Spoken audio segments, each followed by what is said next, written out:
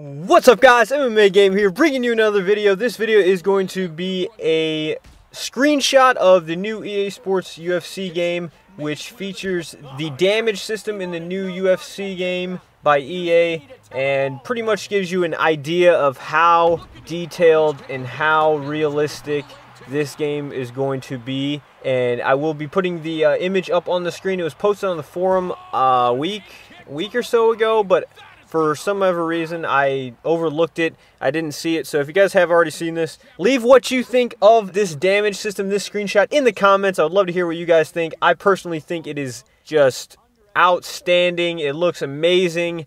Uh, a huge, huge step up from UFC 3, which really only had a few cuts in the same exact spot in the face and really the blood.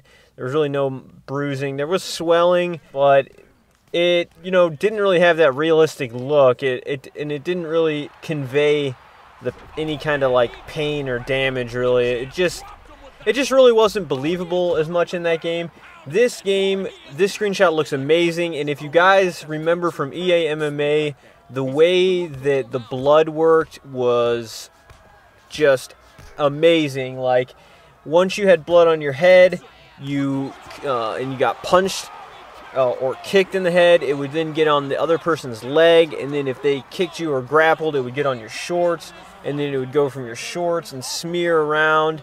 It would actually stain the shorts just like in real life, making like if the shorts were white or a light color, it would add like a reddish tint to it, get all over the mat, smear around. It, it was just the blood was amazing, so I don't doubt that it is going to be amazing in this game.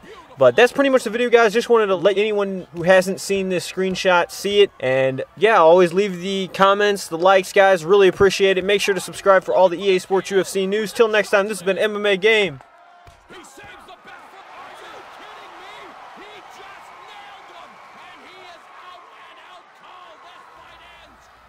P. Ow.